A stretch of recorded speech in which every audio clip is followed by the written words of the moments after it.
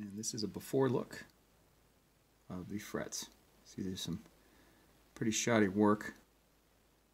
In the crowning doesn't really I don't know if these are new frets or what but the uh, you can see there's some quite a bit of uh, nasty marring on that kind of stuff. So you can actually fix that up pretty easy. Um, some sandpaper and whatever if you care to. But the fretboard definitely needs to be conditioned. It is um, probably been cleaned a few times but not really um, you know oiled and uh, maintained. So I can get that looking absolutely gorgeous again.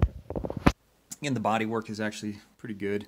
It's not too many scars and the uh, it's pretty much just standard swirls. Take that down to probably a uh, you know 600 grit and then polish it out all the way up to 3000 and buff it. You can get that to look like a mirror again.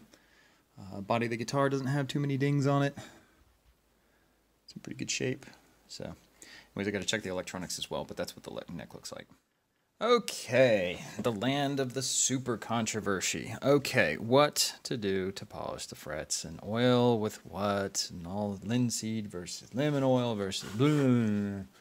Okay, look, I've been doing this for years. Uh, I started off with the high end stuff with some lin- linseed oil, ran out of it, and then just got myself one of these, and I've had one for about 10 million years now, and it's never going to run out. Uh, so you can use whatever you want. I've done a video before using everything in my power. I used linseed oil, I used guitar st center stuff, and, and just to give you an idea, the reason I did the, the, the video is because this little thing was five bucks. This right here was like a dollar sixty at you know Walmart or something like that, and the results were exactly the same. So I'm going to start off uh, on this with double aught steel wool, and the reason I'm doing that is because if you look at the frets themselves, they are really nasty. I mean, you can see somebody when they did the fret work on this. I don't know who did. I'm not trying to insult anybody, but this is really not nice. Uh, this is just just left it very very rough. Um, so you can you can use the double aught. Really, what you need to do is tape the whole thing off. Uh, I'm not going to do that right now. I just don't have the patience for it, even though I'm the patience for all the other steps. Uh, fretwork is just really, really time consuming, and I want to get this thing back up and running. Uh, but what I'm going to do for this situation is I'm going to use double aught steel wool to try to remove just a, some of the finer scratches on the top. And we'll start down here, and we'll just work across and get a nice piece that's open. And I put most of the pressure on the fret itself. I'm not trying to hit the fretboard so much, but just kind of round off the top of the fret, the finger. Just try to give it a little bit of a, get rid of any burrs or anything that I can. And just work it out. And again, this is double aught steel wool.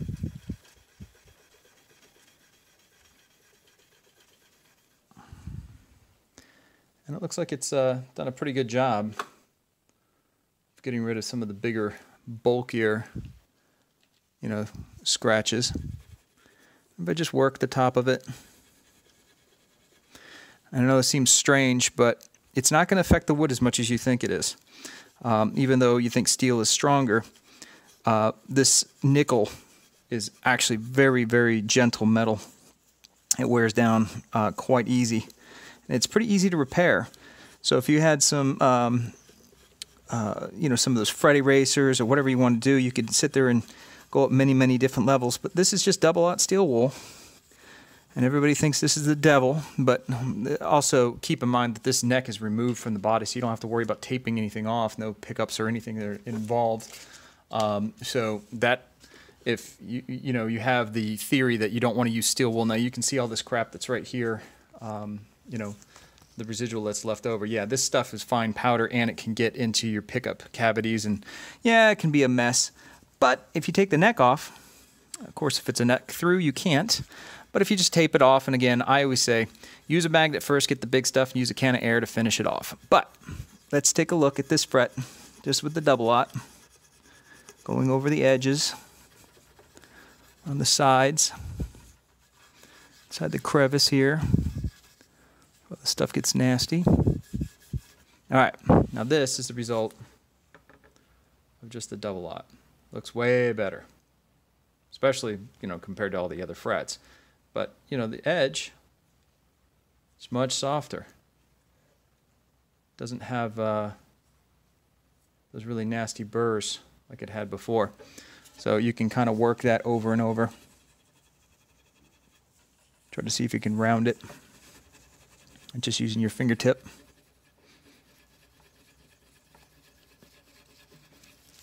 It does a pretty good job. All right, now we'll grab the, where's the other steel wool? This is the fine stuff, so I think I just put it away. But, uh, whatever. You don't want to confuse this stuff. Make sure you put it back in the bag if you're not using it. All right, so I'll just use this. This is the 4-aught steel wool, and I'll hit it again. I'm just doing one fret at a time just to show you the difference.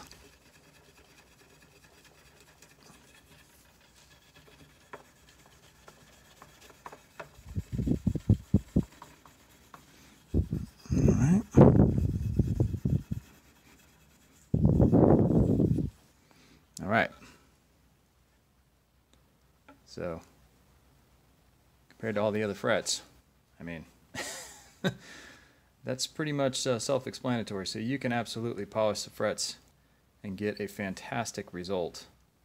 Uh, now you can obviously see very clearly all those little pitting, all that stuff. So you would really have to kind of get down on this thing and really get um, you know, probably 400 to 800, you know, 1,000, go all these crazy numbers and stuff like that. And yeah, you can get this to, you know, shine like a mirror. But I'm going to try and mask it off, and I'm to buff it. Probably not with this, just because I'm a little bit afraid of, of this, you know, hitting too much of the guitar. Uh, so typically what I'll do is I'll use my Dremel. Um, I've got this guy on here and I can use more of a fine fine application for it. But I would just say this, um, don't do this um, if you don't have to. This is, this is kind of me just overkilling it. This is plenty fine. And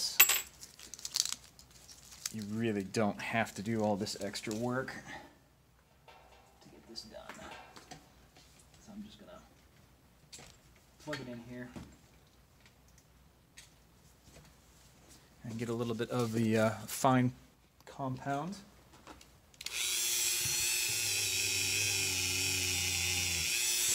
I'm just going to work it.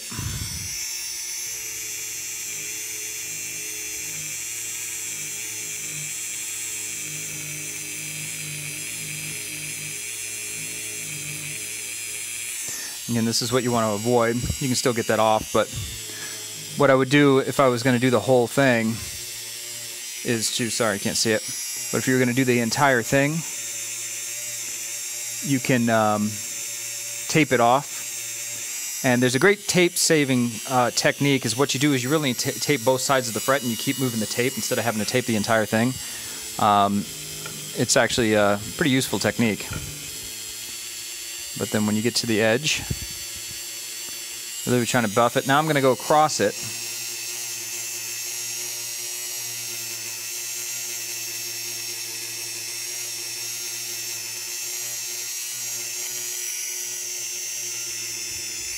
I'm going to cross like this. and Do a high speed.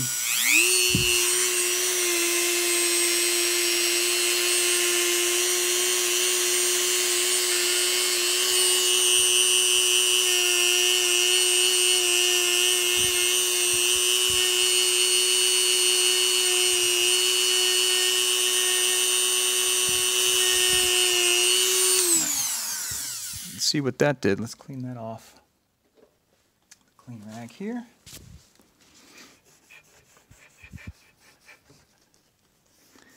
Let's see if it made any difference with all those things. Let's buff all that crap off.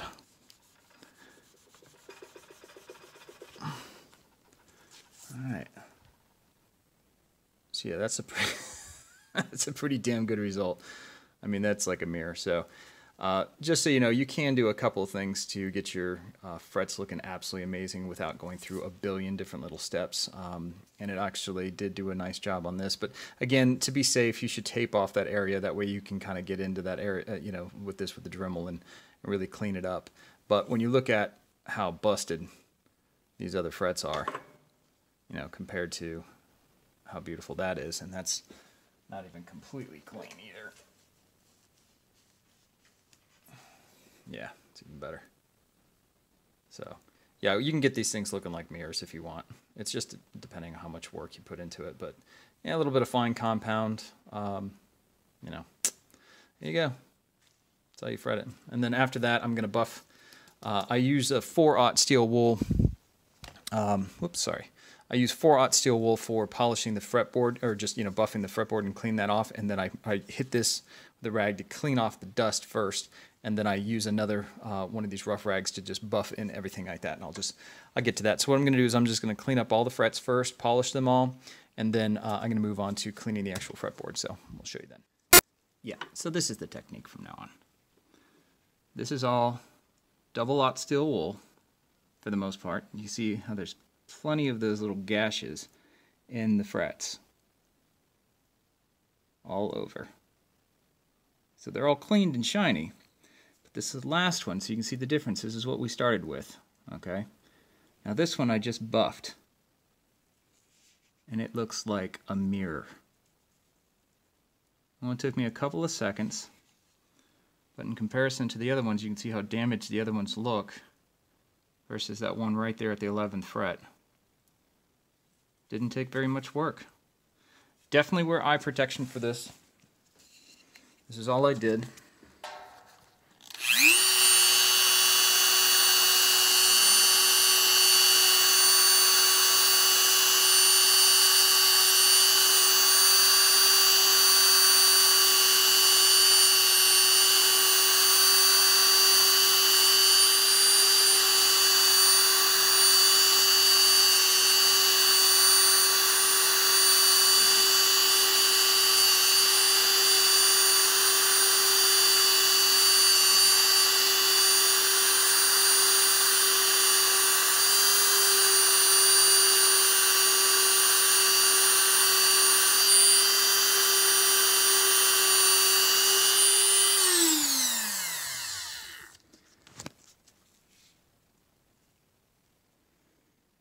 Big difference.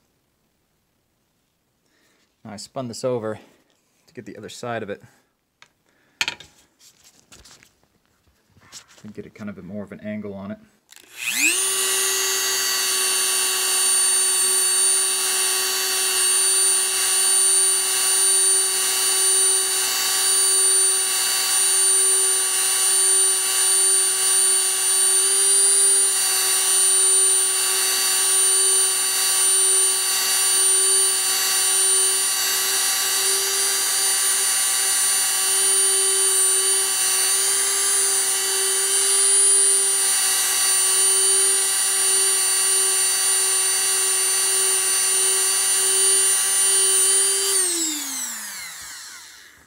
clean off the residual junk.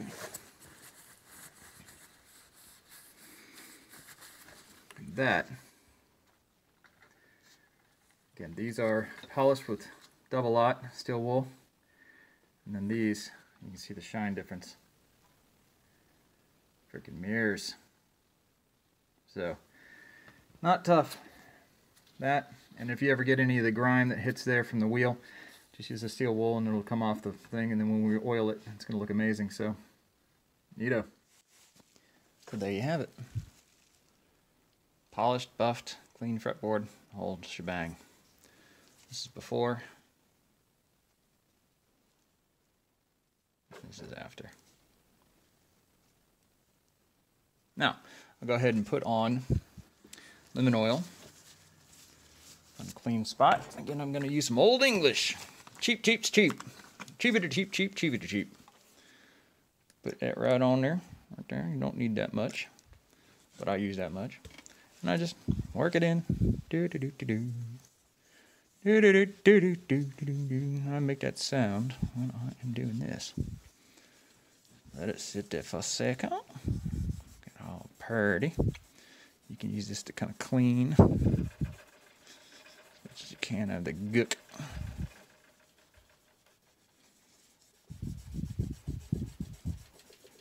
Oh, that's nasty.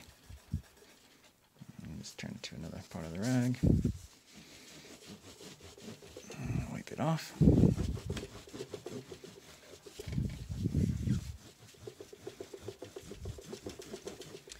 And that's what every single one of my guitars looks like every single time I change strings. I don't do all the buffing and everything like that with the uh, high-speed Dremel, um, but I do this um, uh, I do use the 4-aught steel wool against the frets and the fretboard every single time when I change strings, just to get any kind of skin or whatever off. So that's what it looks like. Years and years and years. And look at that. I don't know about you. That's how I take care of my instruments. There you have it. They look absolutely stunning compared to where they started off with.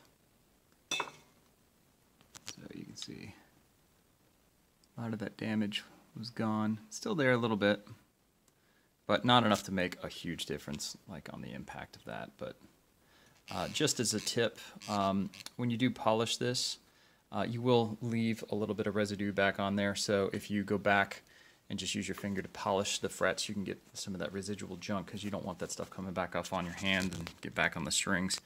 Um, and then you can just clean it off pretty easy. But uh, that came out great.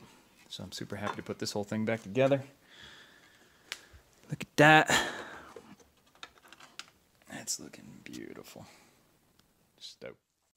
So I like to put together the uh, the neck once it's uh, all finished with the the you know the frets and everything else is clean.